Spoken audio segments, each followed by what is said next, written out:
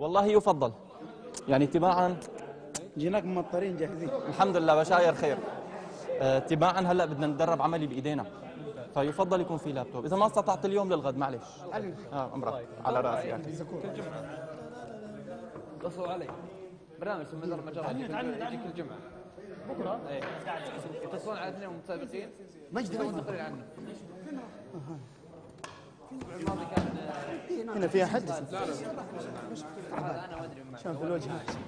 حطيت عمر. حتى اتصلوا علي وما أدري السلام عليكم. أنا اتصلوا علي وما كنت ادري لا لا والله أبغى والله أبغى. حبيبي والله شرف لي الشرف بس عشان ال- ما أشوف. شيخ عشانك عشانك. والله عشانك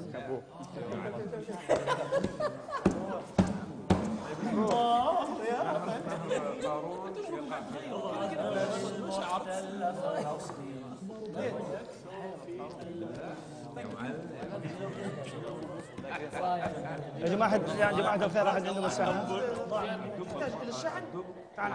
زياد ليش؟ إيش؟ مريض؟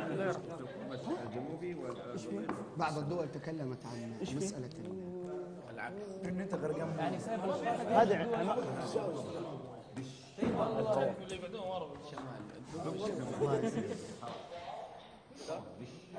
والله فك. شباب أحس فيه ثقل في الرأس. السلام عليكم ورحمة الله وبركاته. وعليكم السلام. حياكم الله جميعا. عساكم طيبين إن شاء الله. أهلا وسهلا. في أعداد لسه ناقصه بشوف صح؟ المطر خيرا إن خير شاء الله يعني الشباب يعني. إن شاء الله اجر وعافية. إخوتي في الله حدا يذكرنا بلمحة قصيرة عن شيء اللي حكيناه امبارح؟ ملخص قصير وبسيط جدا جدا جدا. تفضل سيد فارس. طبعا بسم الله الحمد لله والصلاة والسلام على رسول الله. وعلى آله وصحبه أجمعين أمس تكلمنا عن تعريف الحاسب وما هو الحاسب. قلنا هو عبارة عن نتاج بشري وأخذنا لمحة بسيطة عن شو اسمه؟ مكونات الحاسب الداخلية والخارجية ال hardware ال hardware وال software نعم. وقلنا إنه هو ال- ال- الجزء الصلب الداخلي والخارجي اللي هو زي المعنوي قلنا. الكيان المعنوي الكيان المعنوي. ال soft ware وال hardware. إيه. صحيح. تكلمنا تكلمنا عن ال hard disk وعن ال CPU وتكلمنا عن ال- ال RAM وال ROM وأيضا نظام التشغيل نظام آه أنظمة التشغيل. تمام. الله يجزاك الخير يا رب. سيد مجدي تفضل.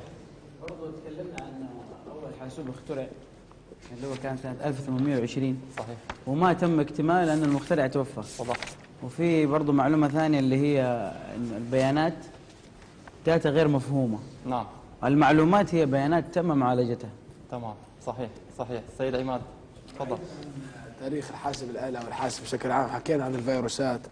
وحكينا عن شو بتكون اللي بتكون من ثلاث آه، عناصر الحاسب الآلة أي حاسب آلة تتكون من ثلاث عناصر اللي هم أس- آه، وحدات إدخال وحدات معالجة وحدات إخراج. صحيح. وحكينا إنه لغة الحاسب الآلي إنه اللي هي واحد وصفر. صحيح. العد الثنائي يعتمد على لغة الاله اللي هي صفر واحد. سيد عبد الله تفضل. شو تضيف؟ نعم. المعلومات إلى صورة ضوئية سواء صورة ثابتة أو متحركة. تماما. سيد مروان تفضل. تكلمنا عن نظام التشغيل اللي هو في نظام مفتوح ونظام منفصل وعن كرت الشاشه في كرت منفصل كرت يجي مع اللوحة نفسها. طيب شو الفرق بين الكرت المنفصل والكرت اللي يجي مع اللوحة؟ والله ما هي يمكن معلومة ما ذكرناها البارح هذه ما ذكرناها. يعرف تفضل سيد معاذ. الكرت المنفصل هو يكون آه، سلوتس وعليكم السلام ورحمة الله. سلوتس آه، يكون تكون إضافية على حسب الحاجة. طيب شو الفرق الجوهري ما بين كرت الشاشه المنفصل وكرت الشاشه المستقل أو المدمج في اللوحه الام. الفرق الاساسي والجوهري في الذاكره. ذاكره كرت الشاشه المنفصل تكون منفصله بينما كرت الشاشه المدمج على اللوحه الام ياخذ ذاكره الاظهار الخاصه به من ذاكره المعالج. يعني عندك 4 جيجا RAM في المعالج في الكمبيوتر ياخذ مثلا 512 أو 1 جيجا. أصبح بإمكانك استخدام فقط 3 جيجا بايت في الويندوز والبرامج. 1 جيجا محجوزه مسبقا من قبل الكمبيوتر لعمليات الإظهار. وبالتالي الذي يريد حواسب تدعم الألعاب بشكل جيد وال graphics وتدعم برامج ال render والتصميم 3 D وال 2 D يجب أن يحاول أن يحصل على كرت شاشة منفصل لأن له ذواكر خاصة به يمكن استخدامها. لا. لا صديقي هلا في الحاسب العادي كرت الشاشة يأتي بهذا الشكل. كرت الشاشة المدمج. هذه اللوحات ليس بها كرت شاشة مدمج سوء الحظ. لكن يأتي هنا مثل هذا المخرج ال VGA الأزرق يأتي هنا. ويكون فقط له رقاقة شريحة إلكترونية على اللوحة الأم ويأخذ ذاكرته من الذواكر وليس له ذاكرة مستقلة. أما هذا الجهاز يوجد به معالج رسومي خاص وذاكرة خاصة. يعني تشتري كرت شاشة من السوق يقول لك هذا كرت الشاشة 1 جيجا 2 جيجا 3 جيجا. هي الذاكرة الخاصة به. تمام؟ هلا رح نتكلم عن هذا الموضوع بشكل تفصيلي أكثر إن شاء الله. سنتكلم عن التفاصيل والجزئيات التي تهمنا عند شراء أي لابتوب أو أي موبايل. يعني ما شاء الله كفيتوا ووفيتوا. تكلمتوا الشيء اللي بدي أحكيه بالضبط. ما شاء الله عليكم. برجع أذكركم بمحاور الدورة. سنتكلم عن الهاردوير في حياتنا بشكل عام عن الحاسوب وعن الجوال. كل على حدة. سنتكلم أيضا عن موضوع الشبكات. سنتكلم أيضا عن موضوع الإنترنت. سنتكلم عن أنظمة حفظ البيانات وعن مواضيع الحماية.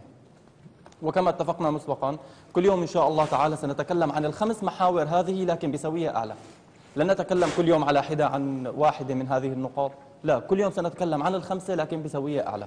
واليوم إن شاء الله تعالى إن أكرمنا الله سنتدارك الشيء الذي سألتمونا عنه بعضكم. قد دونت ملاحظات فيما يخصه وسألتموني عنه ولم يسعفنا الوقت لتداركه. بالنسبة للحاسوب سنتكلم أولا عن تعاريف ومصطلحات وتشخيص للأعطال. في اللغة الإنجليزية مصطلح هام جدا اسمه troubleshooting ال troubleshooting هو تعقب الخطأ. لا يوجد خطأ ممكن اكتشافه مباشرة. يجب أن تقوم بعملية منطقية للوصول إلى هذا الخطأ. كل شيء في الكمبيوتر يعتمد مبدأ ال logical المنطق. لا يوجد شيء بلا منطق. ال troubleshooting shooting shooting تعقب الأخطاء أو تتبع الخطأ.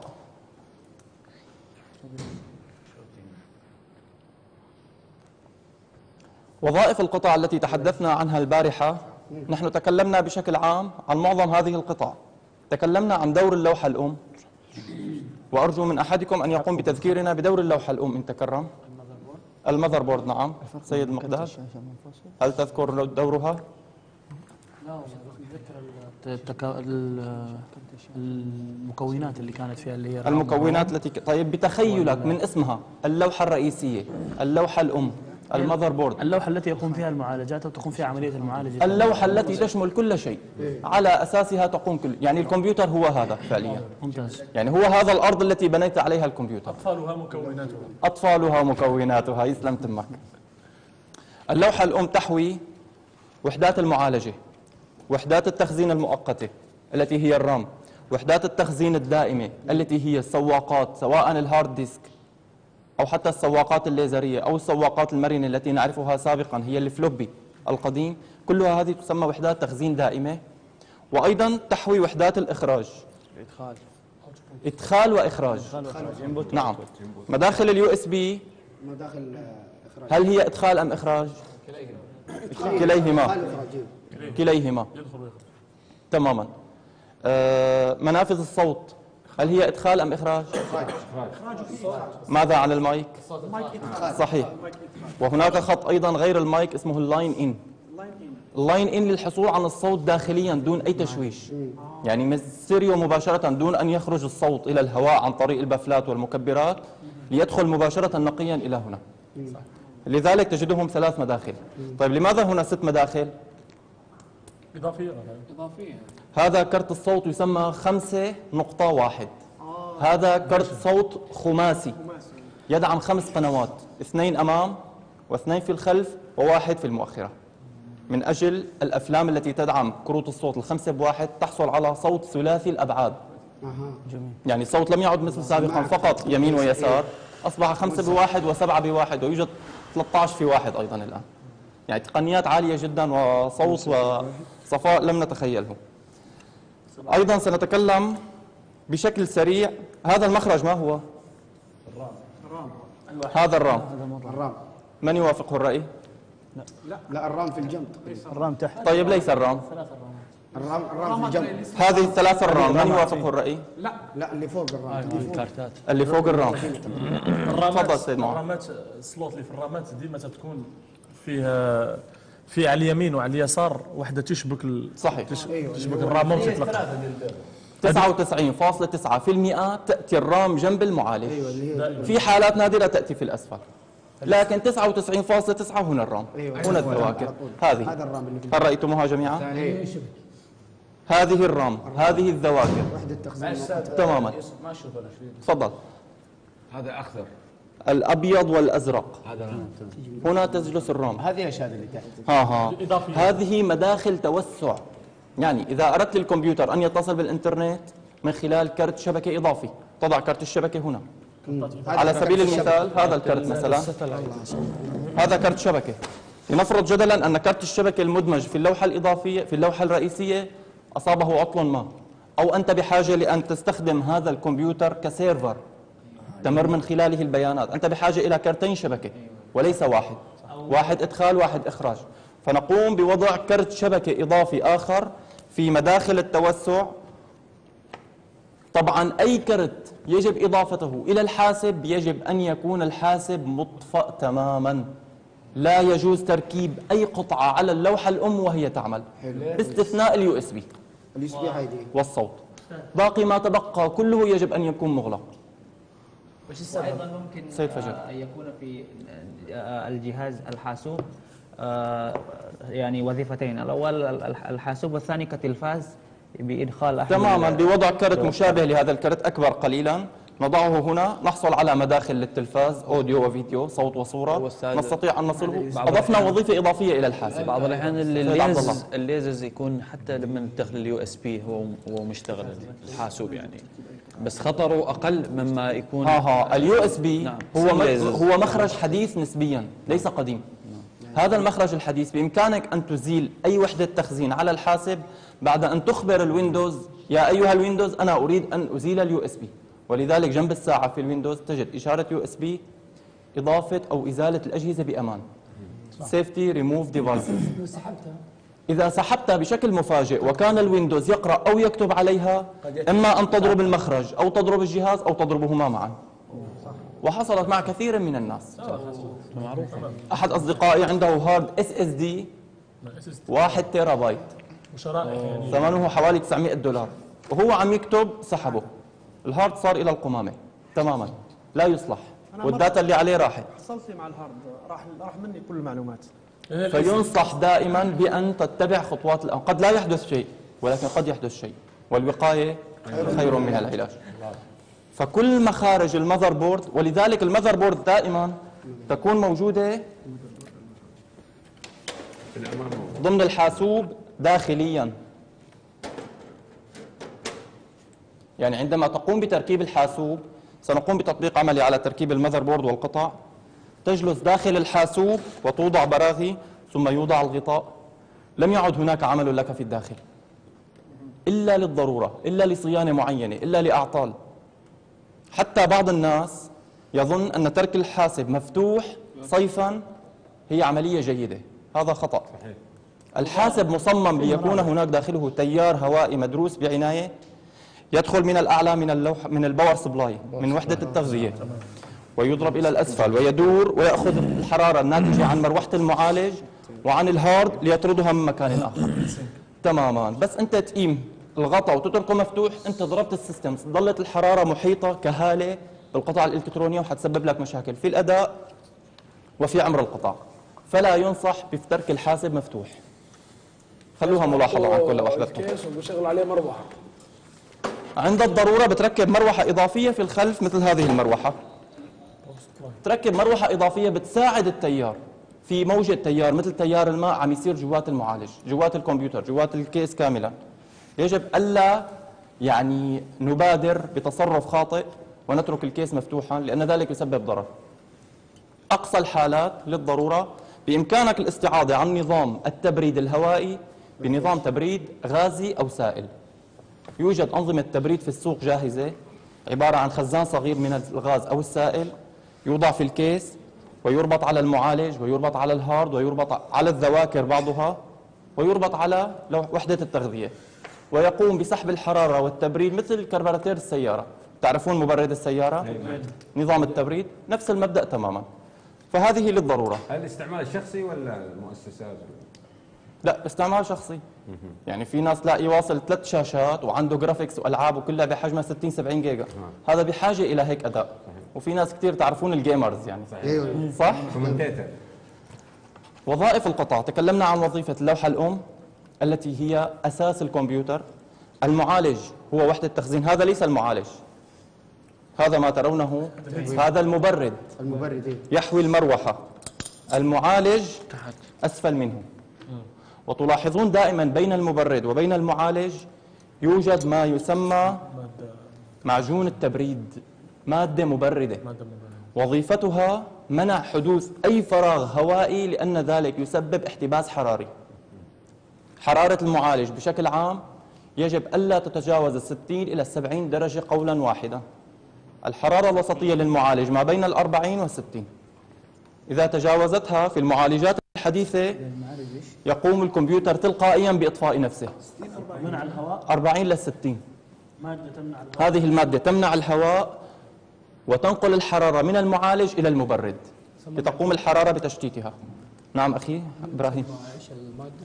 المادة؟ اسمها معجون تبريد معجون التبريد.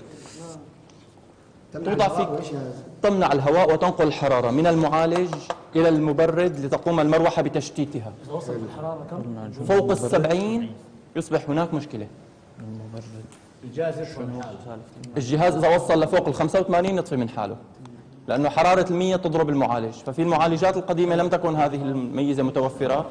كان المعالج يحترق وأنت ما تشعر يصير للكب فصار بس يوصل ال 85 تلقائيا يطفي. هذا الإعداد فيك تغيره من ال BIOS أنت. تفضل أخي عبد الله. وظيفة معجون التبريد إيش؟ منع الفراغات الهوائية ما بين المعالج والمبرد ونقل الحرارة من المعالج إلى المبرد المعدني لتقوم المروحة بتشتيتها. شيخ لو وضعنا هذا كله professor processor هذا كله شيء في الماء شيء بارد.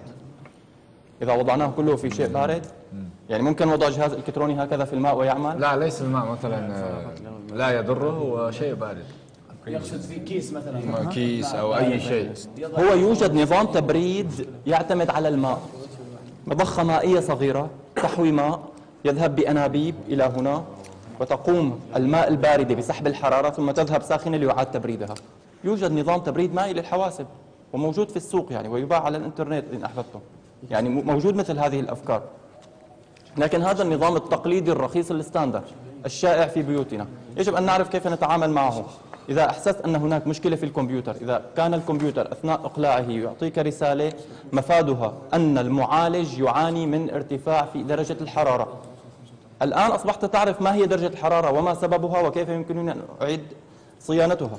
أقوم بفتح المبرد أمسح المعالج بمنديل صغير أضع قدر حبة الحمص الصغيرة من مادة التبريد من معجون التبريد.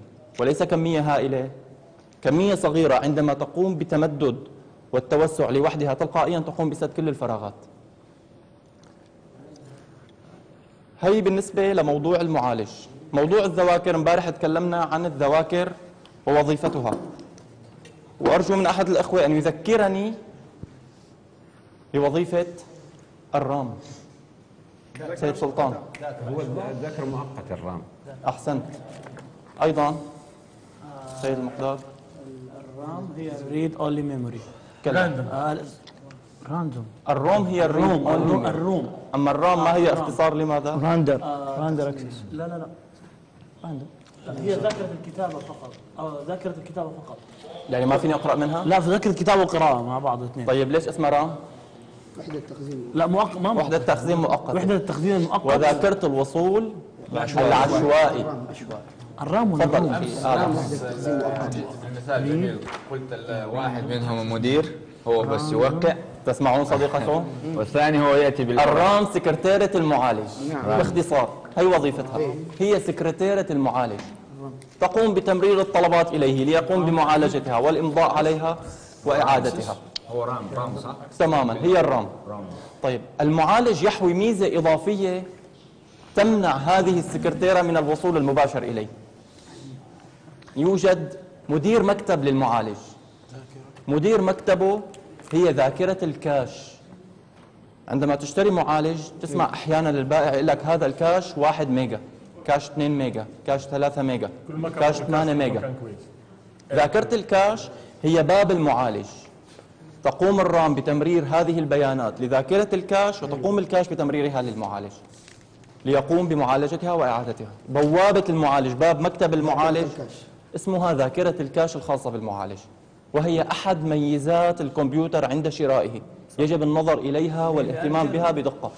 اللي هي ال Intel المعالج اسمه Intel. آه Core i3 مثلا. ذاكرة ال cache الخاصة به مثلا L3 تماما. ال level 1 سابقا ال level 2 وال level 3 now هلأ صار في ذاكرة ال cache هي المسؤولة عن عمليات الإدخال والإخراج. كل ما كان عرض الباب أوسع للمعالج كل ما تمكن من أخذ كميات أكبر من البيانات وإعطاء كميات أكبر من البيانات. يعني في المعالج هناك عدة عوامل ترفع الأداء.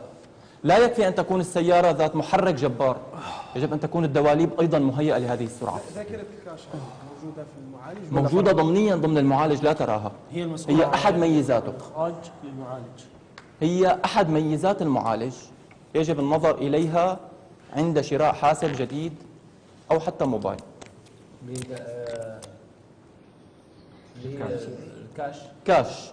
اسمها ذاكرة التسريع ال cache. بقي عندنا كرت الشاشة. من يعيدنا؟ من يعيدنا إلى البارحة بذكريات كرت الشاشة؟ ذاكرة ال cache هي من المعالج يا سيد يوسف من ال- ال- ال- ثواني. ال- اللغة والبرنامج الموجود في الجهاز إلى ال- الألوان الضوئية الموجودة في الشاشة يحول المعلومات من لغة الآلة إلى معلومات مرئية أيا كانت. صو... آه، صورة فيديو آه، رسومات متتابعة صور متحركة. كل ما يظهر على الشاشة مسؤول عنه كرت المعلومات من؟ من شكل رقمي إلى شكل مرئي. كرت الصوت ما وظيفته؟ يحول الأرقام. إلى أصوات تماما. يحول المعلومات من شكل رقمي إلى شكل صوتي إلى ذبذبات صوتية. تفهمها مكبرات الصوت وتقوم بإخراجها. ال hard disk. نتذكر البارحة ال hard disk. أداة تخزين أكثر وحدة تخزين شائعة ومشهورة. ما وظيفته؟ تخزين المعلومات. هل ال hard disk آمن؟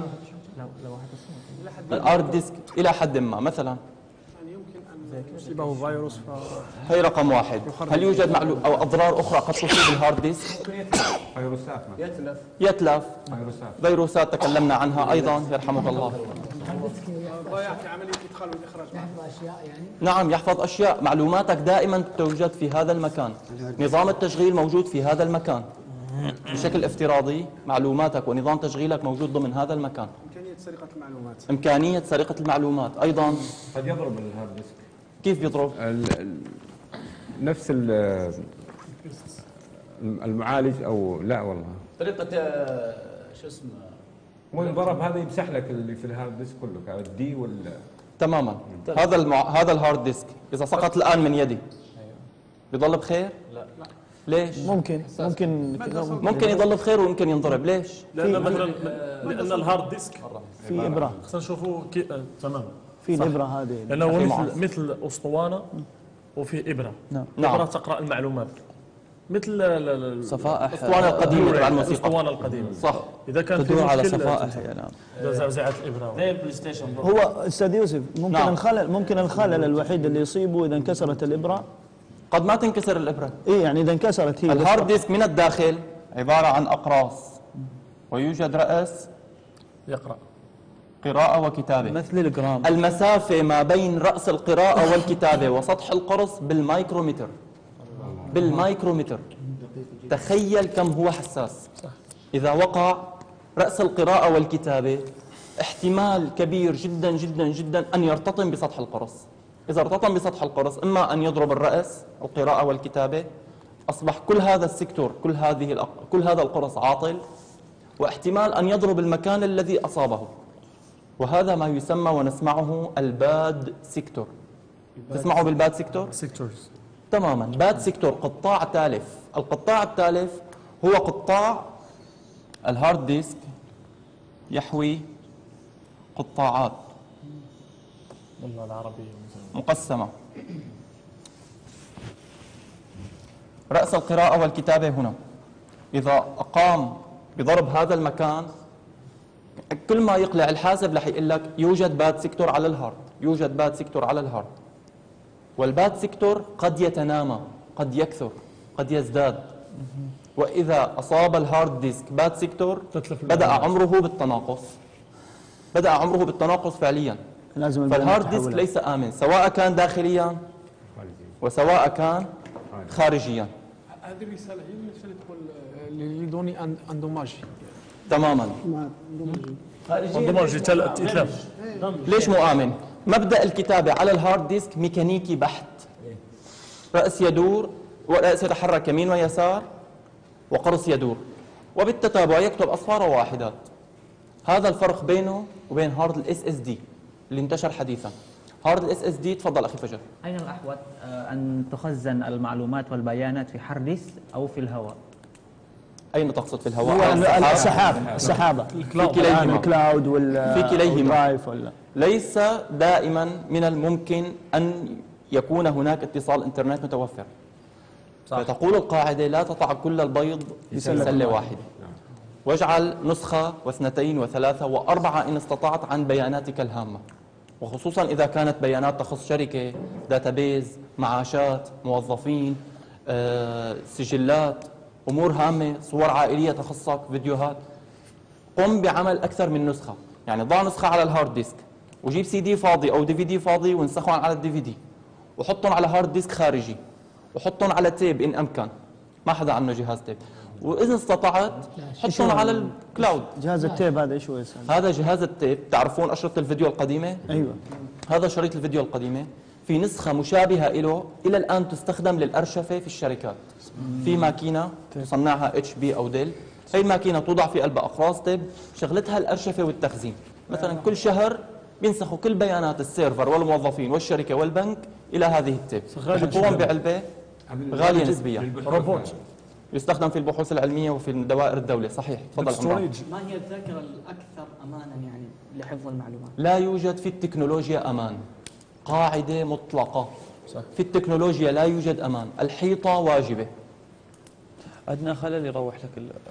أو أي خلل ممكن يعني تدفع لأنه بالنهاية إذا كان البشر يخطئ فالجهاز لا يخطئ. كبرى الشركات في العالم يصبح لديها أخطاء ومشاكل. فعلى مستوى شخصي أكيد قد تصاب بالمشاكل عندك وقد تخسر داتا وقد تخسر بيانات. فلا تترك نفسك عرضة للاحتمالات. دائما ضع أكثر من طريق. وقم بسد الثغرات. يعني هذا ال hard disk ليس ليس مجرد إن سقط سيتلف. قم بتقريب مغناطيس منه سيتلف. ضعه في الشمس يتلف. في جو حار ثم جو بارد يتلف. حتى تحريك اللابتوب بطريقة عشوائيه حتى إذا حركته هكذا بقوة يتلف. طبعا احتمالات كلها احتمالات يعني قد تحركه عشر مرات لا يتلف في ال11 يتلف. كلها احتمالات. ففي التكنولوجيا دائما أنت لست آمن. لا يوجد أمان. ثقة. لا يوجد ثقة. لا يوجد ثقة. دائما احترسوا من الناس بسوء الظن. احترس من التكنولوجيا بإساءة الظن بها. دائما أقول أنا بركي hard disk تبعي انضرب. بركي موبايلي ضاع. بركي فلاشتي انضربت بركي حسابي على ال cloud انسرق. كله قد يصير. فإنه يصيروا كلياتهم بمجموعهم سوية احتمال بعيد. بس واحد منهم يصير احتمال قريب جدا. صح؟ فخلي نفسك دائما في موضع أمان ولا تأمن بالتكنولوجيا. أنا صار لي 15 عام وأكثر بقول لكل الناس لا تأمن بالتكنولوجيا. ليس لها أمان. مثل الحية. تخونك في تخونك في أي لحظة وعند حاجتك إليها. بس تحتاج البيانات تلاقي الهارد انضرب لك. هلا وقته تلاقي عن جد هلا يضرب. بأكثر أوقات بتحتاجها. وعن تجربة صحيحه يعني. غريت شكلها. نحن حنأجل تركيب الحاسب إلى بس نهاية الدرس إذا تكرمتم. إذا ما عندكم مشكلة. أكيد. أنظمة التشغيل وأنواعها. امبارح تكلمنا لمحة بسيطة عن أنظمة التشغيل. حدا يذكرنا فيها؟ Windows. DOS سيد محمد. iOS iOS Linux. Linux Linux بصراحة أنظمة التشغيل أكثر من أن تعد. يوجد أنظمة تشغيل كثيرة لكن لم تنتشر. وبعضها مستخدم. الآن جوجل تقوم بإنشاء نظام تشغيل يعتمد على عدم وجود hard disk لديك إطلاقا. شلون هذا؟ كل حياتك مبنية على خط الإنترنت. عندهم. يعني في الإنترنت يخصصوا لك كمبيوتر وعليه hard ونظام تشغيل وانت من الانترنت توصل له من البيت من المكتب من السيارة من الطريق. كمبيوترك يلحقك. وين ما تروح. حياتك بيدهم. حياتك بيدهم تماما. انتهيت معك كانت تجربة في Dell السباقه عالميا ال operation system embedded نعم. هو هو نظام تشغيل صغير جدا في ال NVRAM آه، بدون hard disk تشعل الكمبيوتر يطلع Unix هو كمبيوتر Unix مصغر. نعم. نظام تشغيل بدون hard disk. هذا النظام موجود 2000 في في لوحات الأم Asus منذ حوالي العشر سنوات. أنا شفته بعيني تماما. هو قد عبارة عن نظام تشغيل بسيط محطوط على ذاكرة بسيطة. الهدف منه فتح إنترنت تشغيل موسيقى والنظر إلى ملفاتك في الحاسب وإدارتها فقط. صح. في Google Google إدارة Google؟ Chrome مثلا مؤخرا جوجل فتح العديد من المجالات مثلا Google Drive. نعم. تحمل عليه مساحة 15 جيجا. جوجل شيت للتعامل مع الملفات. سنتكلم عليها بعد قليل في آه. فقرة أنظمة التخزين. حدا عنده سؤال؟ تفضل أخي في هارد ديسك مر عليه هارد ديسك اكسترنال خارجي. بتحفظ عليه البيانات وبتعمل له password في الإنترنت وبتخليه في البيت ولا في أي حتة. أي مكان مشيته بتفتحه عن طريق النت. أيضا هذا جزء من موضوع تخزين البيانات رح نتكلم عنه. okay. عن وحدات التخزين الشبكية القابلة للوصول البعيد. أيضا سنتكلم عن هذه الفكرة لأنه أكيد رح تفيدكم بحياتكم العملية على مستوى شخصي وعلى مستوى شركات حدا عنده سؤال أيضا؟ حدا عنده تجربة حابب يحكي لنا إياها؟ استفسار؟ لا تخجلوا واحكوا كل شيء بقلبكم. كل ما يخص التكنولوجيا من إشارات تعجب واستفهام اطرحوها. تفضل أخي محمد. يلا. أحيانا في بعض شو اسمه المقاطع أو الصور في ال- ال hard disk تجيك زي التالف كذا. صحيح. وهي كانت شغالة معك أمس. ولذلك-؟ علما إنه ما تم تحريك الجهاز ولا تم أي شيء. السبب إنه ال hard disk أخطأ بشكل ما وكتب فوق هذا الملف. يعني فعليا رح ورجيك تجربة بسيطة.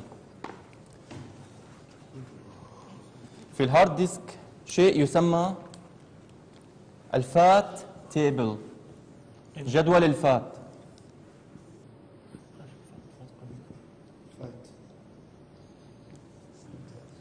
file allocation table جدول توضع الملفات. في جدول توضع الملفات كيف يصل ال hard disk إلى أي معلومة؟ أكيد ما بيروح بيدور عليها بكل لحظة أنت بتطلبها. أنت بتطلب فيديو حجمه 1 جيجا بايت ما رح يروح يدور على 1 جيجا بايت بنفس اللحظة اللي أنت بتطلبه. ال hard disk عنده دفتر عناوين عنده أجندة في جيبه. هذا دفتر العناوين يعرف إنه القطاع رقم كذا. من السيكتور رقم كذا من واحد إلى مثلا عشرة موجود فيه الملف الفلاني. موجود من ال 11 إلى مثلا 16 الملف الفلاني. موجود من آه، 17 إلى 20 تكملة الملف الفلاني. عندما تقوم بحذف البيانات ما الذي يحدث؟ ترتيب. أنا عندي صورة على الموبايل على الفلاشة على الكمبيوتر. shift delete وليس delete shift و delete. يعني حذف نهائي. تماما. حتى لا تبقى فيه recycle نعم. لأنه وجودها في ال recycle bin تعني إنه لساتها موجودة لكن ذهبت إلى sector مخصص اللي لل recycle في في النفايات في يعتبر إنه في الجهاز برضه. لا يزال في الجهاز. طيب لما أحذف shift و delete هل لا يزال في الجهاز؟ هل لا يزال في الجهاز؟ في الجهاز موجود. مين يقول نعم مين يقول لا؟ أنا أقول نعم. نعم. مين يقول نعم؟ ذهب أم لم يذهب؟ shift delete نعم. ذهب أم لم يذهب؟ ذهب بشكل ذهب ولم يعد. لم يذهب. الا في برامج الاستعادة ذهب أم لا؟ ممكن رجع برامج الاستعادة. طيب ذهب أم لم يذهب؟ لم يذهب. لم يذهب. لم يذهب. نصف ذهب. نصف ذهب. لم يذهب. ذهب ولم يذهب. ذهب ولم يذهب. ال- الأصل أنه لم يذهب. لم لأنه يذهب. في في ناس كثير آه، بعد ما تحذف ومثلا بعت أي برامج الجهاز أو. غيره يقدر يستعيد ال- تمام. راح ولا ما راح؟ مسح بشكل نهائي لكن يبقى في الجهاز. طيب. هذا ال delete فقط. لم يذهب. إذا shift delete ن- ن- ن- يعني أقول لك ذهب ب 90% لكن رجعوا ببرنامج الاستعادة. طيب. ذهب ولا لا؟ لم يذهب. له أثر. له أثر. ذهب هو انه ماشي وجلس لم يذهب ما تدري. أو ذهب عن عيوننا لكنه موجود فعلا. نعم. ذهب من لا يعرف أنه ذهب ولم يذهب. من يعرف أنه لم يذهب. أصبحت بيت من الشعر. يذهب. بدليل أن حاولت أن أبحث لم أجد شيئا منه. إما في سلة أو كل شيء. ذهب أم لا. أغلبية الإجابات لم يذهب. ليش عندكم شكوك إنه ما راح؟ طيب أنا عملت له شيفت ديليت لأن في برامج تسترجع. طيب في برامج تسترجع. شو هي البرامج؟ وشو بتساوي؟ ريموف انديليت ريكفري ماي فايل تمام. partition recovery الكثير جدا من البرامج. Recuva هي البرامج كيف عم تلاقي الفايلات؟ وأنا عم فوت بإيدي على ال hard disk وما لاقيها. لأنها تدخل إلى الملفات ال- في في في نظام التشغيل في مكان يرمى فيه ال- مثل مثلا المقبرة في نعم. عظام نعم. فهي ترجع إلى العظام وتعود تب- تبنيها من جديد. لا مو إلى هذا الدرجة. هذا من أي أفلام من أي فيلم؟ صحيح. كاين كاين مرات يعني آه، بهذا النظام أنك تعيد المعلومات في folders يرجعون لكن ما تقدر تشغل عليه ولا حاجة تكون sectors مضروبة. يكون طيب. هذاك ال folder مضروب. بفهم بسيط أنا زي سيد مقدار. بيعملوا زي ال control z يعني ال- البيانات اللي أنت تكلمت عنها الآن انه ال file الأول من 16 لكذا وال file الثاني من كذا فبيعيد ترتيب البيانات دي مرة ثانية. بيقول له رجع البيانات الأولى زي ما كانت فبترجع البيانات زي ما كانت بترجع الصورة. يعني هلا إذا عملنا تجربه وعملنا حذف لملف وعملت control z ترجع؟ لا. لا ما ترجع. هي مش تشبه ال control z تقصد. لا ما مبدأ التراجع يعني. تماما مبدأ التراجع. بصراحة أي برنامج أي برنامج على الإطلاق وحتى ال user يريد أن يقرأ ملف على ال hard disk كيف بيقراه بيجي لهذا العمود. بيجي لهذا العمود عفوا. بيجي لهذا العمود. هون نوع الملفات والامتداد. ما هو الامتداد بالمناسبة؟ زي إحداثية. صوت ولا؟ إحداثية. إيش امتداد؟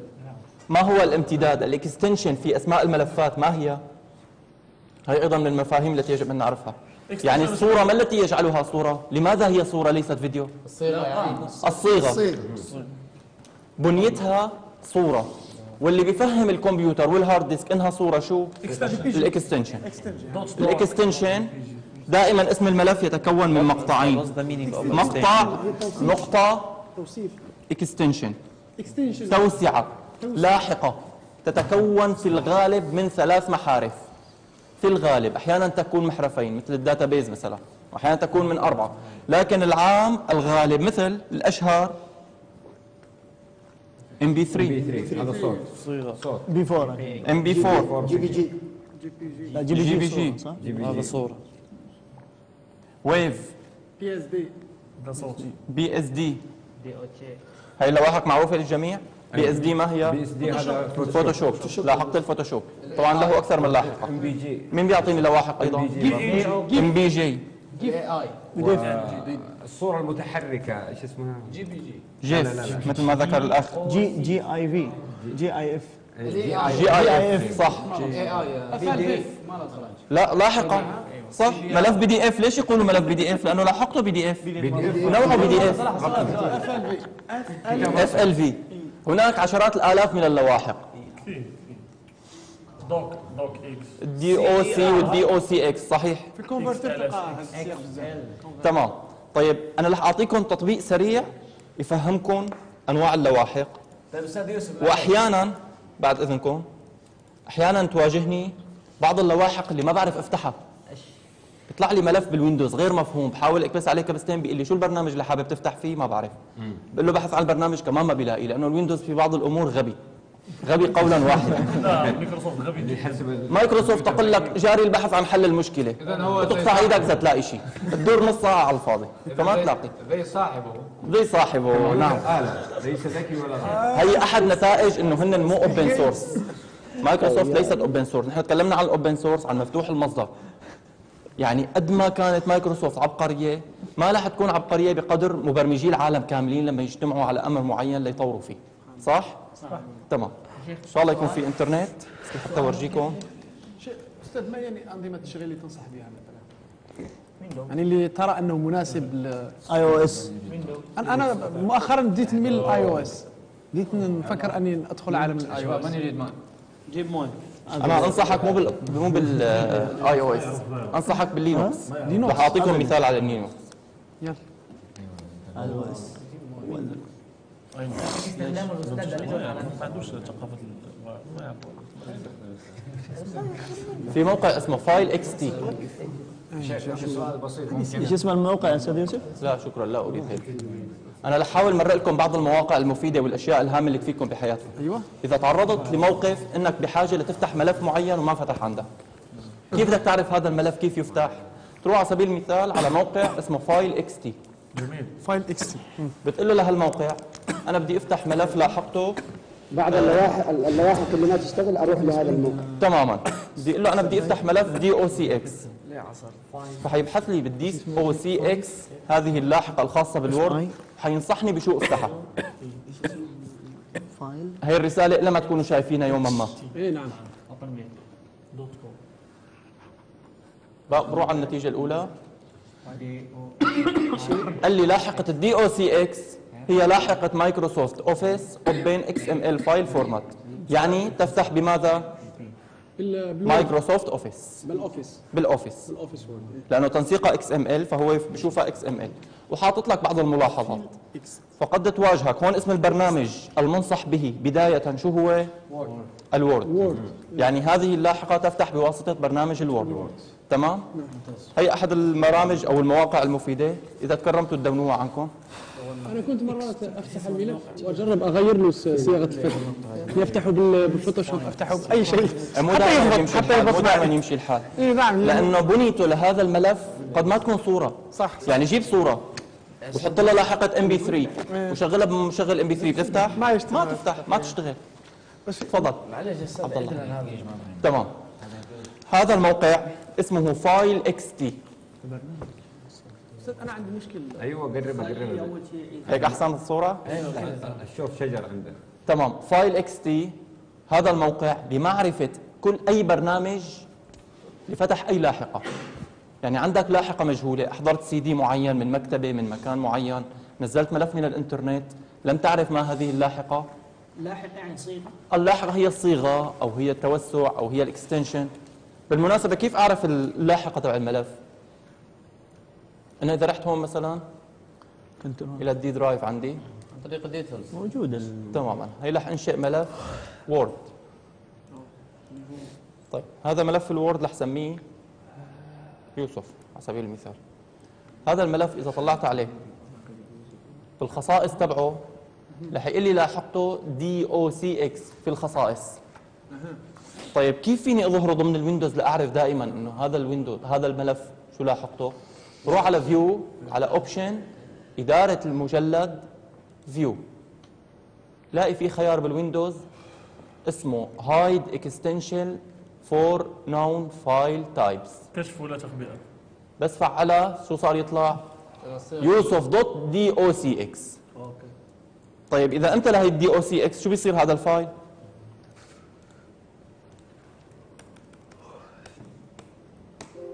أصبح ملف غير معروف. آه لأني حذفت اللاحقة. لكن بنيته لا تزال Word لا تزال Word يعني هلأ إذا بفتحه رح يقول لي ال Windows شو البرنامج اللي حابب تفتحه فيه؟ أنا ما تعرفت عليه لهذا ال file أنا بجرب إنزل ما بلاقي فيه Word إذا لقيت Word ما لقيت بروح هون بدور.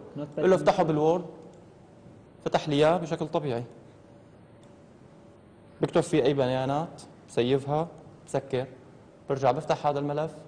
كمان بيسألني لأنه كمان ما عاد عرفان ما عاد معه شهادة تعريف ما عاد معه هوية هذا الملف. ولذلك ما عم يعرفه. في في طريقة أخرى. أنا كنت أفتح الملف وأفتحه بال- بال Word. شلون؟ وبعدين يغير نظام.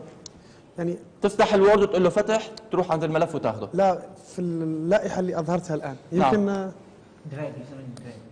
أصبح لا. هي اللائحة؟ أيوه. لا ما أفتحها. لا لا أفتحها بال زر يمين أيوة. open with آه، ملف يعني هي open with هي نفس الخيار صارت افتراضية لأنه بدون اسم. أما لما يكون اسم له لاحقة بصير فيك تعمل هيك صح؟ مثل ما تفضلت. فيك أيوة. تقول له هون. بس في في مرات فيك تقول له open with صحيح؟ وتختار من هون. لا مرات أنا أكتب كنت أدخل وأكتب اللاحقة. وأنا فيني هون أكتب اللاحقة؟ أما أنا هلأ كتبتها رجعت كتبتها. آه كتبتها إيه. طبعا. بس أنا عم ورجيك مثال عن اللواحق أنا هون فيني أرجع أقول له DOCX رجع اشتغل ال file ما عاد يسألني كل ما بده يشغله مين هذا. صار يعرفه. وال data اللي save تها بقلبه لا تزال محفوظة. فبنرجع لموضوع حذف الملفات. والشباب اللي صوتوا إنه بتذهب ولا ما بتذهب.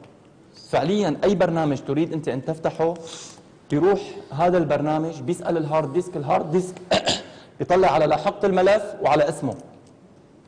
بقول له أنا بدي الصورة الفلانية اللي التقطتها بالتاريخ الفلاني اللي اسمها يوسف dot JPG.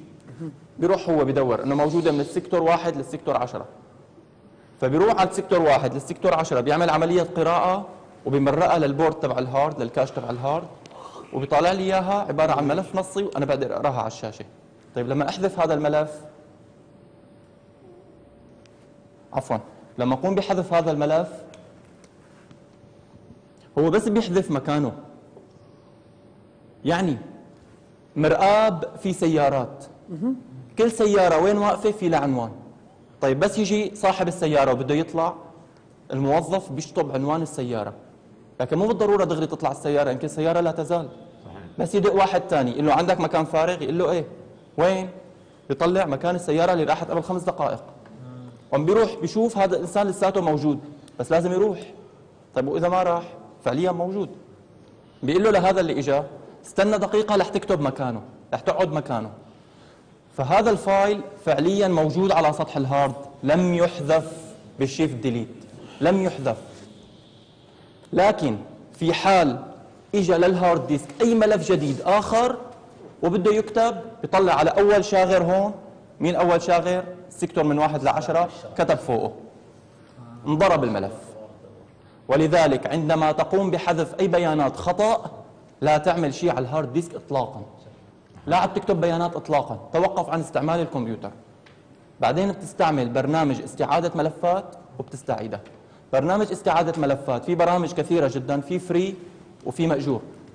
برامج استعادة الملفات بتختلف عن البرامج العادية إنه ما بتقرأ بهذا المكان بتقرأ بهذا المكان مباشرة. ما بيروح بيسال ال hard disk بيروح مباشرة على المرآب وبيدور. بيروح على المرآب وبيدور وبيجيب لك المعلومة. قد يجيبها مضروبة. قد يجيبها مضروبة نصها.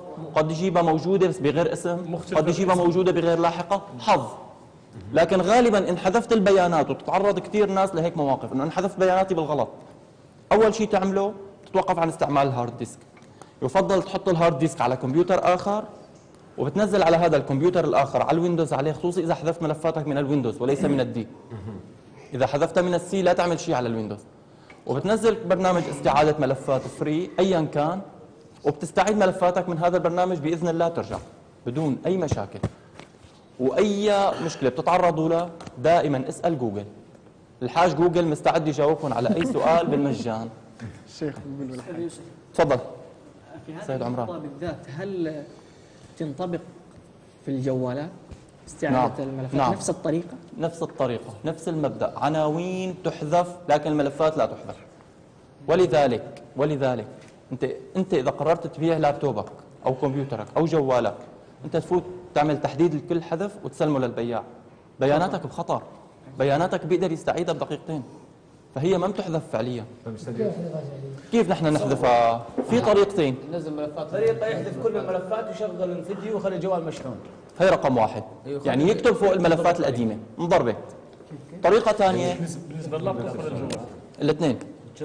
المبدأ واحد على فكرة كيف يعني؟ بالنسبة يعني حتى في الجوال لما تحذف صورة أو فيديو التقطه وتروح تعطيها لرفيقك رفيقك بيقدر يستعيدها نعم هذه تمام؟ كيف فيني أحذفهم؟ أيوة. الطريقة؟ الحذف بطريقتين.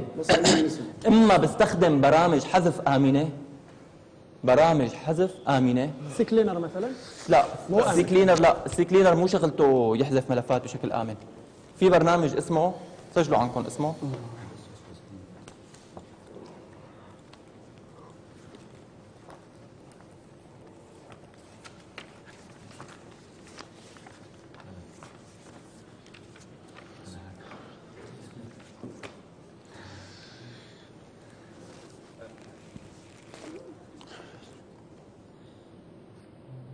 File Shred File Shredder. shredder الآلة ال shredder بتعرفوها اللي تحط بقلبها الوثائق تمزقهم تماما. مبدأه نفس المبدأ. هذا ال fi- هذا البرنامج free يقوم بحذف الملفات نهائيا. ممكن تكبر الصورة الاستاذ يوسف؟ يعني ما يمكن يسترجعوها. اطلاقا. حتى المختصين. حتى المختصين. المختصين. لأنه هذا البرنامج بس تنزله عنده أكثر من خوارزمية وطريقة لحذف الملفات. ممتاز. أول طريقة حذف آمن تماما من سطح الهارد. ثاني طريقة بيضرب الملف قبل ما يحذفه. ثالث طريقة ما يخليه ولا شيء. ما يخلي مجال يعني لو يكون أكبر مختص ما يقدر يرجع. سبحان الله. والفكرة من هذا البرنامج إنه الحذف أنت إذا بدك تحذف صورة قديش تستغرق معك حذف؟ ثانية. يعني ثانيتين. لكن هذا البرنامج ليحذف صورة قد ياخذ عشر دقائق. اوف ليحذفها تماما. يعني أنت لما تحذف فعليا ما حدث كسرها كسرها دمرها دمار دمرها وقضى عليها وعلى النسل تبعها. خليه نزل في الجوال في الجوالات تنزل ها؟ هذا البرنامج يصير ينزل في الجوال؟ نعم موجود نسخ منه في الجوال. أعمل search على أي شيء اسمه safe delete عندي رجال عادي. اهم شيء. القديمة اللي حدث حريم نعم. تأخذ مساحة من الهاتف من الكمبيوتر. لا مو بتأخذ مساحة من الهاتف بس تحذفها. مكانها تحرر. هي موجودة صح لكن مكانها تحرر. وبأي برنامج؟ clean لل cache وال history لا قصدي اللي في- شيء temporary في شيء temporary ما في شيء نقول ال temporary شو هو؟ هي الملفات المؤقتة. أها. يعني هي مثل أنت حطيت رجلك في مكان أيوه. لبين ما تحط الآخر ضل لك أثر دعسة بحاجة لتنظيف. بس هي ملفات ال temporary اللي حتتعلمها ونمرق عليها بموضوع صيانة الويندوز خلاص. والاهتمام فيه. أنظمة التشغيل وأنواعها ويندوز server. حدا سمع بشيء اسمه ويندوز server؟ server ويندوز. ويندوز server وليس ويندوز XP أو ويندوز 7 أو ويندوز 8 أو ويندوز 10 الويندوز server هو ويندوز خاص من مايكروسوفت لينصب على السيرفرات تاع المؤسسات تماما. هو ويندوز server. ماذا تعني كلمة server؟ هو مخدم تفضل. طريقة واحدة في الحسب الطريقة الثانية إيش كانت؟ الطريقة الأولى هي البرنامج. بهذا البرنامج. الطريقة الثانية مثل ما قال أخونا ترجع بتملي data يعني تملأ تملأ data تملأ data مكانها يعني أنت حذفت ملف 100 ميجا رجع اكتب محله 1 جيجا. أكيد مسح. أكيد غطاه. عرفت؟ يعني عندك بقعة صغيرة في الأرض حط سجادة أكبر وخلاص. هذا المبدأ. نرجع لفكرة ويندوز server ما الفرق بين الويندوز العادي والويندوز server؟ ويندوز server تفضل أخي معاذ. هو يعني في الويندوز العادي بالنسبة للمستخدمين في البيوت وكذا صح. يقضي الغرض. صح. لكن الويندوز server هو أكثر والله بالعربية صعب أشرح بالمصطلحات أكثر قوة أكثر ثبات. هو ويندوز مخصص ليكون server ليكون مخدم ليقدم خدمات لعملاء ليقدم خدمات ل client لأطراف على شبكة. عنده طاقة استيعابية أكبر جدا. تماما. هو ويندوز بتلاقي رسوماته تعيسة جدا منظره قبيح لكن هو ويندوز قوي مصمم ليعمل سنوات متتالية دون أن ينطفئ. طبعا هذا الشيء عند مايكروسوفت غير موجود أنت بتعرف يعني اللينوكس لما نتكلم عن لينوكس عندهم هي الثبات وعندهم هي القابلية إنه يكون عندهم نظام تشغيل. طيب أنا عم بسمع كثير لينوكس وأسمع كثير iOS شلون بدي اجربهم انت حابب تتعلم عن نظام تشغيل آخر صح؟ طيب بتفوت على الإنترنت وبتسال أو بتبحث عن شيء اسمه ويندوز أوبنتو أو ويندوز مينت أو ويندوز CentOS. كيف أنا بدي نصبه على الكمبيوتر؟ بنصبه على الكمبيوتر من خلال تقنية رح نحكي عنها هون. اسمها ال virtualization ميزة ال virtualization هذا مصطلح تقني جديد ظهر في الآونة الأخيرة. يعني الوهمية. الوهمية. فيرتشوال فيرتشواليزيشن الوهمية.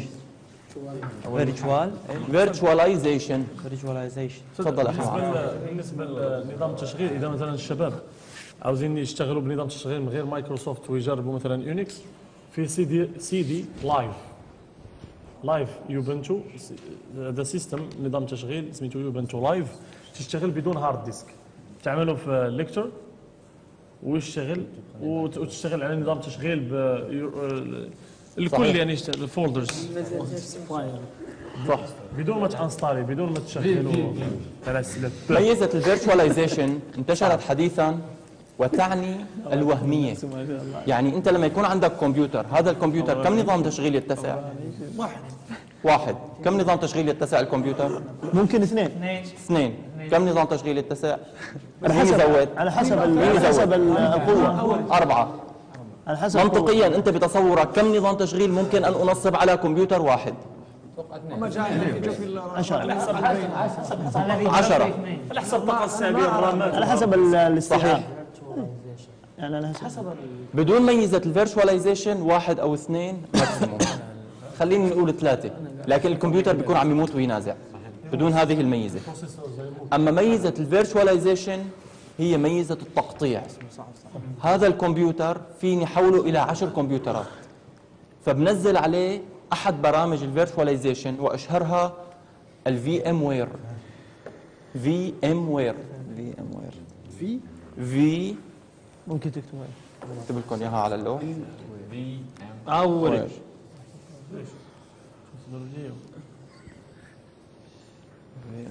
برنامج الفي ام وير رح نعمل عليه تجربة عملية وحنخرج إن شاء الله من الدورة بقابلية إنه أنت تستطيع بإيدك تنزل ويندوز على في ام وير يعني هذا هذا الجهاز اللي عندي. هذا الجهاز اللي عندك ضمن الويندوز كأنك عم تنصب اوفيس كأنك عم تنصب جيت اوديو كأنك عم تنصب برنامج ام بي بلاير كأنك عم تنصب أي برنامج بتنصب برنامج اسمه الفي ام وير اختبار العملي. برنامج ها؟ تماما حيكون في لك أن تكره. أضعاف الإيمان لأنه حيفيدنا بموا... بأمور عديدة يعني. الله يستفيدوا إن شاء الله يستفيدوا. لأنه حيفيدنا بأكثر من موضوع حنحكيها بالنهايه بموضوع الحماية لحتى يحميك. ال VMware بس تنزله بتقول له أنا حابب إنشئ ويندوز أعطيه 10 جيجا hard وأعطيه من ال processor 2 core وأعطيه 1 جيجا RAM وأعطيه سواقه وأعطيه ال floppy وأعطيه كرت شبكة. فبينشئ لك ويندوز وهمي ويندوز داخل نافذة. هذا الويندوز بقلبه إبدأ ولوحة تحكم. وجهاز الكمبيوتر وسله محذوفه ويندوز كامل تماما تماما تماما. هو عبارة عن ملف وهمي. تاخذ هذا الملف بتحطه على كمبيوتر آخر بتشغله كل إعداداتك وملفاتك وأمورك الشخصية موجودة. يعني باسم مستخدم وكلمة مرور ولا كل؟ شيء كل شيء كل شيء كل شيء ضمن نافذة. تقدر تتعامل به في الكبشات ها؟ لك؟ نافذه نافذه يعني يا أستاذ يوسف. شبكات قصدي الكبشات أستاذ يوسف. هل هو هل هو آه، داخل الجهاز ولا سحابة؟ لا هو داخل الجهاز. هو داخل الجهاز. وهمي. وهمي. وهمي ليس حقيقي. هو ملف يعتبر ملف. هو مجمل بالنهاية ملف. ملف. ملف انت بتحط بقلبه ويندوز. يعني صار فيك تصنع شبكة ما بين كمبيوترك الخارجي وكمبيوترك الداخلي. تعطينا الس- الصورة ISO ISO. رح ناخذ ايزو وننصب ملف إن شاء الله الدرس القادم أو اللي بعده. يعني هذا يمكن نحط عليه ايزو. تحط عليه ISO وال ISO ما هي الايزو للشباب اللي ما بيعرفوا؟ هي لاحقة الملفات بالنسبة للسي ديات.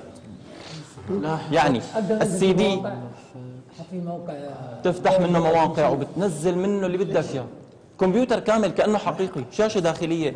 keyboard و mouse ولوحه تحكم وإبداء وتشغيل وإيقاف وكل شيء. الفي إم وير هذا يعتبر تقطيع للجهاز.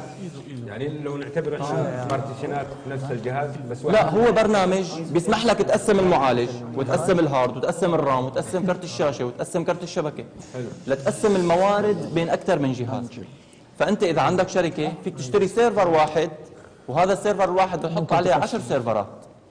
10 server ات قولا واحدا توفر طاقة وبتوفر أمان وبتوفر استفادة. يعني ما في داعي أنا يكون عندي 10 server ات. server واحد فقط. هذا ال server عليه كل بياناتي. تفضل أخي عبد الله. الآيزو إيش هو؟ لاحقة الملفات. الآيزو إذا عندك سي دي ويندوز بدك تنسخه. شلون بتنسخه؟ سي دي ويندوز. نفس بدك النظام تنسخه. شلون بتنسخه؟ شو أكيد ما رح تعمل له نسخ لصق. لأنه سي دي الويندوز إذا بتعمل له نسخ لصق وبتروح تحطه على سي دي ثاني تحطه على كمبيوتر ما بيطلع نيرو النيرو النيرو كيف عم ينسخه؟ عم ينسخه كآيزو عم ينسخه كصورة. فأنت إما بتحوله لملف آيزو رح نعمل تطبيق عملي عليه إذا بتحبوا ونحوله لآيزو ونحطه على ال hard disk وبنرجع بننسخه أو بتقول له للكمبيوتر الوهمي. يا الكمبيوتر الوهمي خذ هذا الآيزو اعتبره سواقه ونزل لي منه نظام. فبتنزل نظام تشغيل من ملف الآيزو. سلام.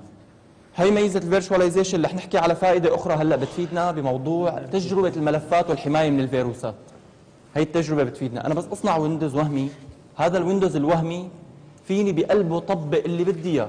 بجيب ملف فيروس وبجيب برامج مسمومة وبجيب ألعاب ضارة وبجيب ملفات مشبوهة ما بعرفها وكلها بنفذها بقلبه. وخليه يخرب. فيني أعمل له delete وانشئ أطلع- واحد ثاني بدقيقة. دقيقة. فيني أعمل له استعادة لورا. فيني أعمل له مليون حل. فأنت إذا خايف من مثلا شيء ينفجر بإيدك بتجربه بمكان معزول مشان تحمي نفسك. هذا الويندوز هذا ال virtual هو ويندوز معزول. هو عبارة عن صندوق رملي بيسموه sandbox الصندوق الرمل.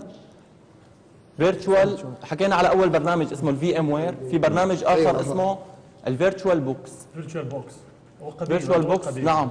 قديم وإلى الآن يتطور. شغل اوراكل اوراكل كيف كيف كيف؟ هذا بر... هذا virtual في ام و في ام فيرتشوال بوكس كتبته بالعربي. في, ام و شو سهل السبرينج حقه اكتبها بالعربي ما في مشكلة بس خلي عندك فكرة إنه في برنامج بيؤدي هيك وظيفة. عندما أريد شراء كمبيوتر. فيرتشواليزيشن هي مهمة جدا هذه النقطة. عندما تريد شراء حاسب إذا أنت حضرتك بدك تشتري حاسب شو أول شيء بتنظر له؟ ال RAM أنا دائما تنظر لل RAM معاذ أنا CPU أنا أول حاجة انظر أنظر للسي بي يو.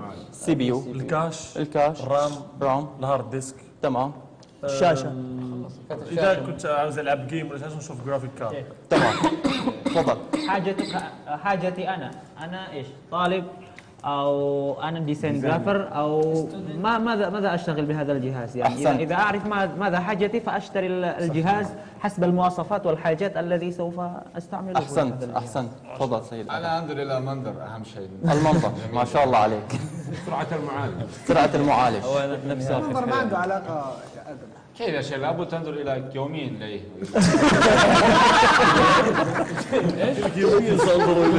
ما حق يوميا بدك تتذبح وتتمسى بوش والكمبيوتر. لازم يكون وشه جميل يعني منظره جميل.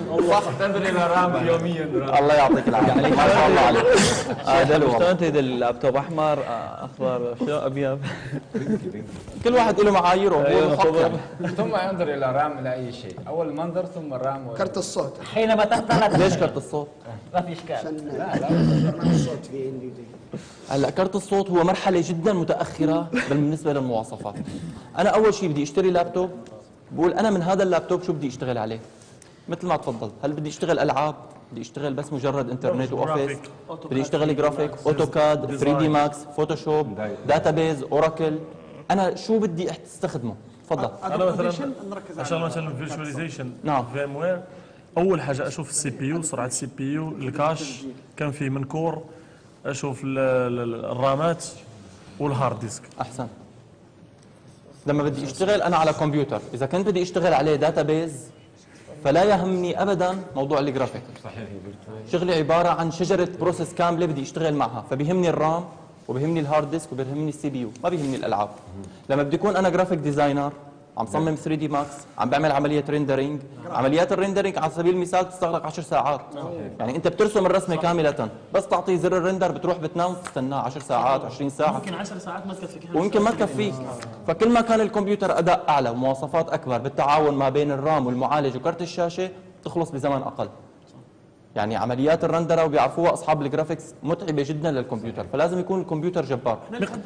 مثلا المقدار يعني مشان من الاوتوكاد الماكنتوش جبار بالنسبة لموضوع ال graphics. صح. تفضل أخي. هل مثلا آه، بين يدينا جهاز جهازين. نعم. نفس المواصفات لكن الشركة تختلف.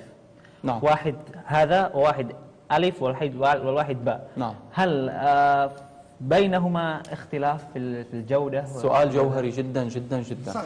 وفي اختلاف. معالج Core i7 RAM 8 جيجا بايت hard disk 1 تيرا بايت كرت شاشة 1 تيرا 1 جيجا بايت واحد ديل وواحد توشيبا. واحد HP وواحد سوني. بيفرقوا عن بعض؟ نعم شو شو بيفرقوا؟ الجوده والصناعه أعطوني آرائكم. طيب أنت تقول اتش بي أفضل. اتش بي أفضل. طيب. توشيبا والسوني أفضل. وبعدها بالنسبة لي توشيبا. توشيبا. وبعدها ال Dell بالاخير هي آراء شخصية تتبع للشركات. الشركات أنا عكس تماما. توشيبا. زي Apple Apple هلا واحد حيقول لي HP واحد حيقول لي توشيبا واحد حيقول لي هذا ما كان ياباني. توشيبا أفضل. التوشيبا واشتغلت بال Dell التوشيبا اشتغلت فيه في ال في 3D Max والأوتوكاد والشغل بتاع ال rendering بياخذ وقت مني. أما ال Dell لقيت يعني بيختصر لي يمكن ساعة أو ساعتين. صح. ونفس المواصفات نفس ال quality اللي هي نفس ال quality جرب بس ما اعرف الفرق كان نفسي اعرف ربع ساعة. الفرق إيش. تماما. الفرق أخي معاذ الفرق بصراحة إنه كل شركة بتركز على جانب معين. يعني شركة بتركز على الشكل الخارجي. شركة بتركز على التوافقية ما بين القطع شركة بتركز على ال multimedia على الكاميرا على الصوت على الصورة دقة الشاشة. شركة بتركز على عمر البطارية. شركة بتركز على ال performance. فهذا الشيء أنا كيف فيني أعرفه؟ فيني أتصفح وأسأل الحاج جوجل. بعمل compare بين أكثر من جهاز. بعمل benchmark شو يعني benchmark شو يعني benchmark هذا مصطلح مشهور في ال IT ال benchmark هو عبارة عن مسابقة. ال benchmark عبارة عن مسابقة. يعني أنا بدي قيم هذا الحاسب فبحطه على اختبار عالي ومجهد وآخر شيء بحصل على رقم أداء. هذا الرقم قارنه بكمبيوتر آخر. فعلى برامج ال benchmark الشهيرة عالميا بيقول لك لابتوب الفلاني اللي رقم موديله فلاني ال score تبعه عدد النقاط تبعه على benchmark كذا. هذا ال benchmark يحدد متوسط ما بين عدة عوامل. على سبيل المثال في موقع رح ورجيكم إياه.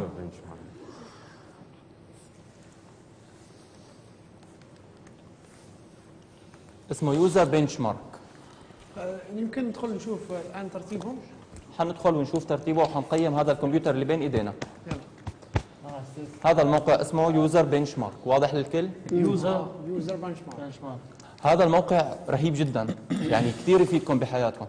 ببساطة ما في داعي تنصب برامج لتعمل benchmark تفتح موقع وبتضغط زر فقط. كنا نتكلم عن الأهداف والأفكار في قبل. أيوه هذه فكرة تربحك من غير تطوع فكرة تربحك ملايير. دراهم شو UserBenchmark أنت مثلا تريد حاسوب الآخر يريد حاسوب الآخر يريد حاسوب. تعمل benchmarking منها تطلع أحلى حاسوب. يعني شو اللي طاح على يعني أول هو ما- زي أول ما جاته الفكرة مثلا. مش فايت لا لا ضم الأفكار.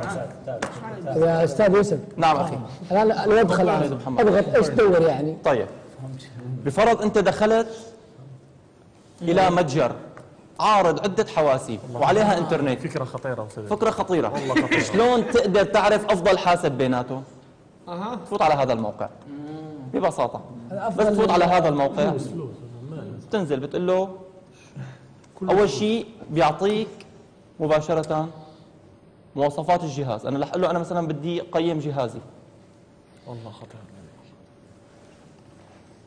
شوفوا عبارة عن مليونين و166 free ألف free تقييم. free download يعطوك يعطوك حاجة تحملها وتقارن بها. ها- كاين هذا كاين ثاني موقع آخر آه، كيفية الاستخدام؟ رح نعمل تجربة استخدام بس الإنترنت ما كثير عم تساعدنا. ثواني عم تستغرق شوية وقت.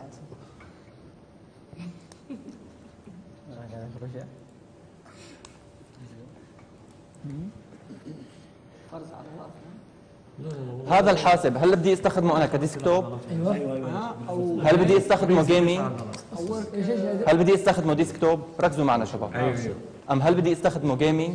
أم هل بدي استخدمه workstation محطة عمل data أو server أو file server أو printer server أو للموظفين في شركة شو بدي اشتغل عليه لهذا الحاسب؟ قل له هذا الحاسب بدي اشتغل عليه desktop عادي يعني desktop يعني فبالنسبة لل desktop قال لي هذا الحاسب تبعك. بيعطيني أرقام بيقول لي ال graphic card عندك اسمه Intel HD 530 تقييمه 15% فقط. لأنه مدمج. أي واحد أنا اخترته. أنا ما هذا الحاسب اللي أنا فتحت عليه هلأ حاليا هذا الموقع.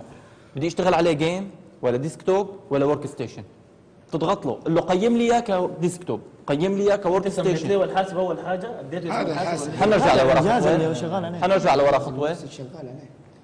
آه الجهاز اللي أنت شغال عليه الآن. تماما هذا الجهاز اللي أنا عم بشتغل عليه. هذا الحاسب معالجه i7 وكرت شاشته مدمج راماته 6 جيجا و...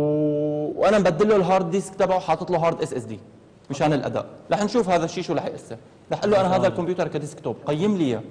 كونه desktop شو رأيك فيه؟ فبس ضغط على ال desktop.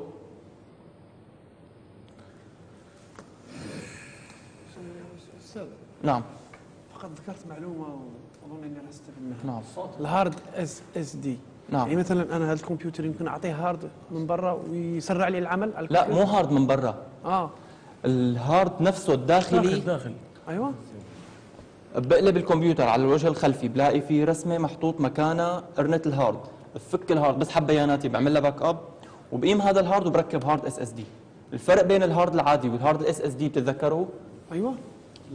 هذا في ابره وكذا ولكن SSD مثلا في شرائح مثل رامات تماما. واحد أسرع. ميكانيكي واحد إلكتروني. يعني أنت بدلته داخليا مو خارجيا. لا لا داخليا داخليا. ما في خارجيا؟ يعني صار ال- صار ال Windows لا في hard disk خارجي. في hard disk خارجي SSD طبعا. لكن أنا بيهمني ال Windows والأداء والبرامج والتعامل مع الكمبيوتر والإنترنت يكون سريع يكون بسرعة الضوء والإلكترون. ما يكون ميكانيكي دائما يروح رأس القراءة والكتابة يبحث عن المعلومة. معليش عيد صح. الفرق يا أستاذ يوسف؟ واحد ميكانيكي والآخر إلكتروني. ال SSD هو الميكانيكي. ال SSD هو الإلكتروني. الإلكتروني. يعمل بمبدأ ال RAM. إيش تقيم الان؟ هلا هذا التقييم. قال لي انت عندك ال hard المع... كرت الشاشة بما انه كرت شاشة مدمج كرت شاشة هذا الجهاز مدمج. وهذا الشيء بيجعل أداؤه منخفض. فقال لي هذا تقييمه 15% very poor ضعيف جدا.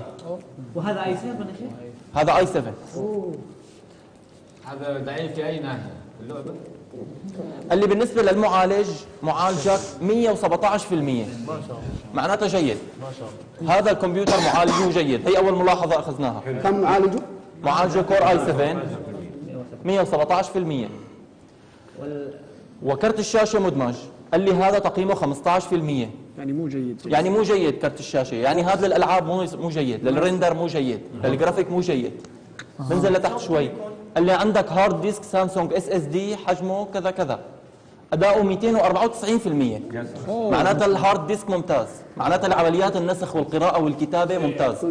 أنا لو فتت على متجر وشفت هذا الكمبيوتر ونظبط هذا الموقع وكبس هي الضغطة وهذا الكمبيوتر بدي أستخدمه للنسخ دائما واللصق والملفات وأخذ وأعطاء الملفات هذا بينفعني. بنزل على ال memory. ال memory قال لي عندك رامات كذا كذا. 2.8 جيجا 125% هو من كم بيعطيني التقييم؟ من 100؟ من 100 يعني إذا 100% جيد محقق المطلوب أكثر معناتها جبار أقل تعبان. حلو.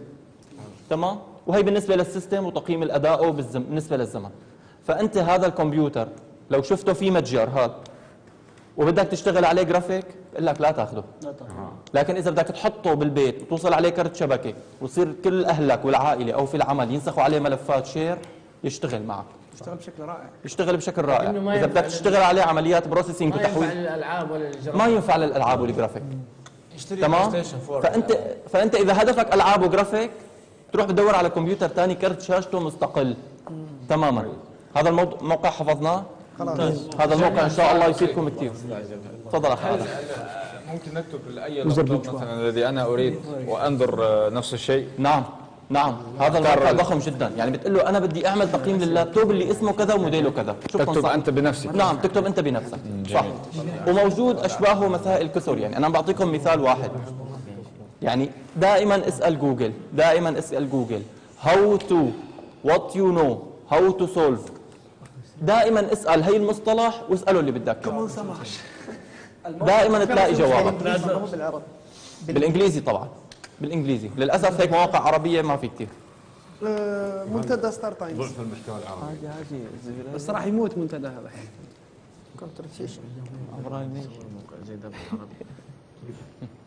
وين راح ملف ال PowerPoint ده ثم عمل بيض نرجع للمواصفات على السريع نحكيه المواصفات اللي واجب مراعاتها عند شراء أي حاسب.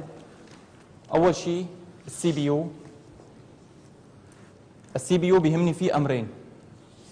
وال cache أول شيء موديله على سبيل المثال i3 آي 5 آي 7 معالج. ما في حاليا هدول أعلى شيء. هاد له أجيال وهاد له أجيال وهاد له أجيال. بتلاقي آي 7 حقه مثلا 120 دولار وبتلاقي آي 7 حقه مثلا 870 دولار. شو الفرق بين هاد وهاد؟ هذا جيل واحد داخل جيل ثالث. جيل سابع مثلا أو جيل سادس. نزل الجيل السابع حاليا من كم يوم؟ سابع ما شاء الله. الفرق شاسع جدا بالأداء. يعني لا يكفي إنه حدا بده يبيعك لابتوب مستعمل يقول لك. هذا معالجه i7 طيب بركي جيل أول أو ثاني. مع تسجيل مثلا ال i3 جيل خامس أحسن منه. تمام؟ لأنه ظهر بعده خمس سنوات مثلا أو سبع سنوات. صار في تقنيات أعلى بكثير بيقدر يعالج بيانات أكثر بكثير فأول مصطلح بطلع عليه اسم المعالج وال cache. حلو. معلش دقيقة بس. ال cache. اللي هو i3 i ذاكرة لا ال cache اللي هي الذاكرة level 1 level 2 level 3 بيقول لك هذا المعالج ذاكرته الصغرى مثلا 2 والكبرى 8 ال cache اللي حكينا عنها في بداية الجلسة اولها cache ال RAM.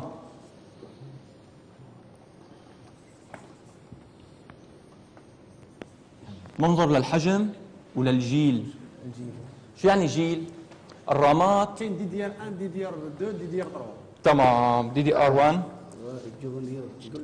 تكلم انجليزي دي دي آر do- 1 دي دي آر 2 دي دي آر 3 يا فرنسي انت. فرنسي. عربي الله يجزاه خير.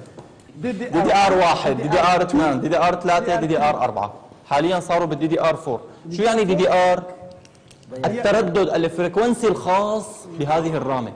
يعني الرامة صح بتسع مثلا 10 4 جيجا أو 8 جيجا لكن الرامة الأخرى ترددها أعلى بكثير بالتردد الأعلى بكثير بتنجز بيانات أكثر من اللي أضعف منها. نعم. تقدر تخزن بيانات وتعالجها بسرعة أكبر منها. أنا بال RAM بيهمني أمرين. قديش بتسع وقديش تقدر تمرق خلال مثلا 10 ثانية أو 20 ثانية حكينا عن المعالج حكينا عن ال RAM. منظر لل hard disk. 1 جيجا منظر للمساحة والتقنية. حجم صح؟ المساحة 1 تيرا 500 جيجا 2 جيجا 2 تيرا. التقنية مثلا SSD أو HDD اللي هو ال hard الميكانيكي وال hard ال SSD اللي تكلمنا عنه قبل شوي. على سبيل المثال hard ال SSD ال 512 جيجا حقه حوالي 200 دولار. بينما hard ال HDD ال 2 تيرا بايت حقه 90 دولار. لاحظين الفرق؟ اختلاف اختلاف في سرعه الإدخال.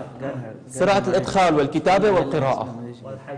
في في أستاذ أستاذ. هون بتحصل على أداء وهون بتحصل على حجم. إذا بهمك الحجم أكثر من الأداء بتأخذ حجم. هي مكتوب دائما يكتب عليها. المعلومات تلقاها هذه في ال hard. مكتوب هذا ال hard مثلا هذا ليس SSD هذا hard ميكانيكي.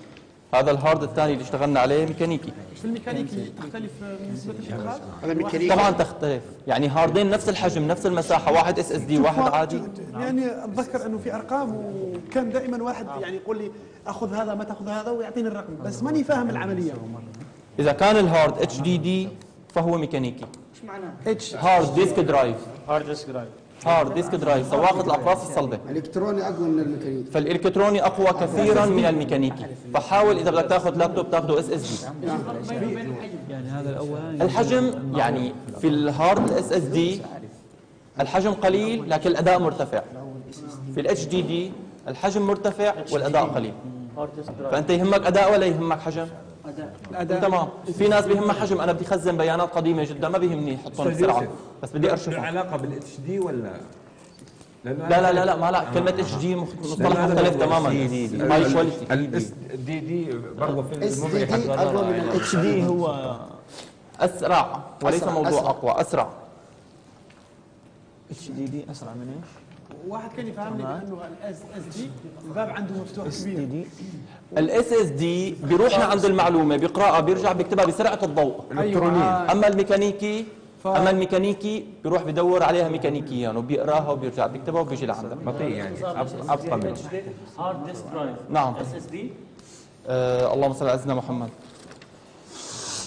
آه SATA كذا drive SATA slot drive على ما أظن.